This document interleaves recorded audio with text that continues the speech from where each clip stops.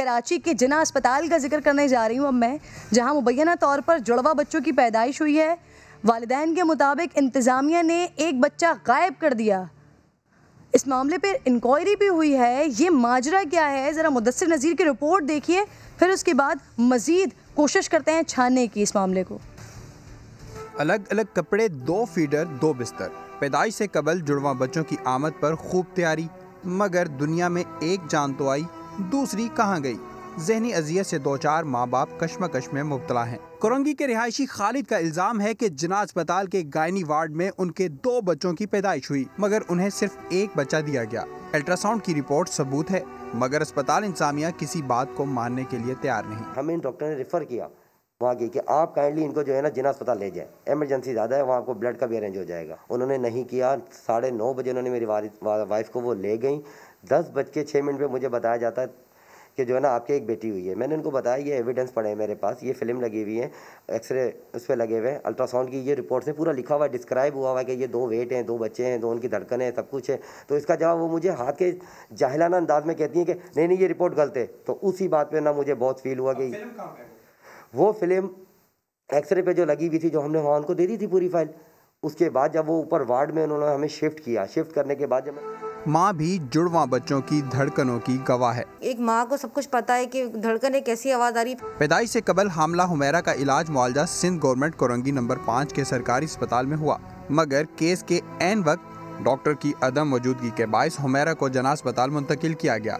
समाने मामले की तहकीक की तो करंगी के सरकारी अस्पताल के असिस्टेंट एमएस डॉक्टर सरवर ने भी इस बात की तस्दीक कर दी कि अल्ट्रासाउंड रिपोर्ट को चैलेंज नहीं किया जा सकता।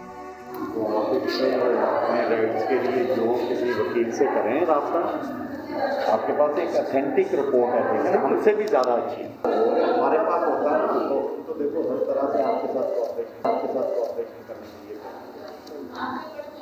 लिए। जना अस्पताल की इंतजामिया का कहना है कि गायनी डिपार्टमेंट के हेड के मुताबिक एक बच्चे की पैदाइश हुई। अल्ट्रासाउंड की दो रिपोर्ट्स थीं। एक में दो बच्चे थे, जबकि एक रिपोर्ट में सिर्फ़ एक बच्चा था। रिपोर्ट प्राइवेट लैब से करवाई गई। हो सकता है रिपोर्ट गलत हो, मामले की तहकीकात कर रहे हैं। मैं इसमें इंक्वायरी करवा देती हूँ, क्योंकि देखें दोनों का वर्जन अलग अलग है तो इंक्वायरी करा देते अच्छा दूध का दूध और पानी का पानी हो जाएगा। Let us have independent inquiry तो मैंने सीनियर कंसल्टेंट ऑफ़ हॉस्पिटल की इंक्वायरी कमेटी बना दी और मैंने कहा कि ये और उसमें वार्ड की इंचार्ज को नहीं डाला दूसरे वार्ड वालों को डाला है गायनी के दूसरे सेकेंड वार्ड को जो इनके दूसरे वार्ड है। ताकि ये ना हो कि जी इन्होंने बेईमानी करके उसी डॉक्टर को बना दिया कमेटी का ठीक है। मुतासरा खानदान का कहना है कि अल्ट्रासाउंड की पहली रिपोर्ट हमल के दूसरे माह की थी जबकि दूसरी अल्ट्रासाउंड रिपोर्ट नवे महीने की है। वालदेन का कहना है कि अस्पताल इंतजामिया ने अगर मामला जल्द हल न किया तो वो अदालत का दरवाज़ा खटखटाएँगे। कैमरामैन फैसल आगाई के साथ मुदसर नज़ीर समा कराची। वालिद जिनकी जानब से इल्ज़ाम लगाया जा रहा है इस बात का वो आज पेश भी हुए थे कमेटी में मुझे साथ भी मौजूद है प्रोग्राम में। खालिद साहब आप कमेटी में पेश हुए थे आ, इस कमेटी के बारे में बताइएगा वहाँ पे क्या फैसला हुआ या क्या तहकीकात हुई आपसे? फ़र्स्ट ऑफ़ ऑल ये कि कमेटी के अंदर अल्ट्रासाउंड स्पेशलिस्ट जिना के बिठाए गए मेरे सामने।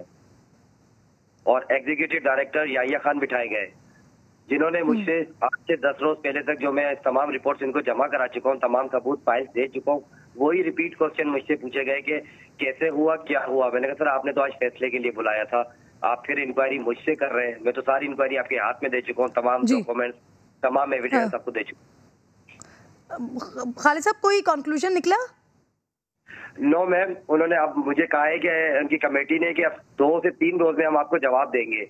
पिछले दस दिन से यही कहा जा रहा है।